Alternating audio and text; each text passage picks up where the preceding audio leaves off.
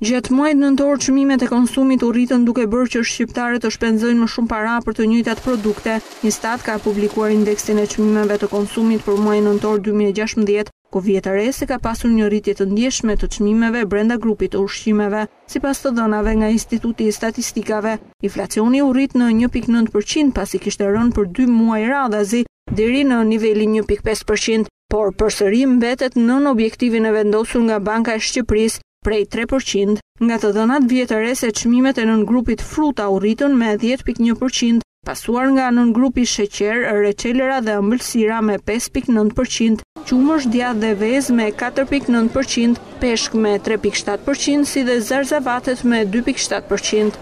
Krahasuar me muajin tetor dy mijë e gjashtëmbëdhjetë, rritja e çmimeve vërehet edhe në grupin qira, ujë, lëndë djegëse dhe energji me rreth një për qind, ndërsa ulja më e madhe e çmimeve konstatohet në grupin transport me minus zero pikë pesë për qind. Grupi i ushqimeve ngelet faktori përcaktues në ecurinë e inflacionit, megjithatë, kontributi i tij në normën totale ka rënë ndjeshëm gjatë muajve të fundit.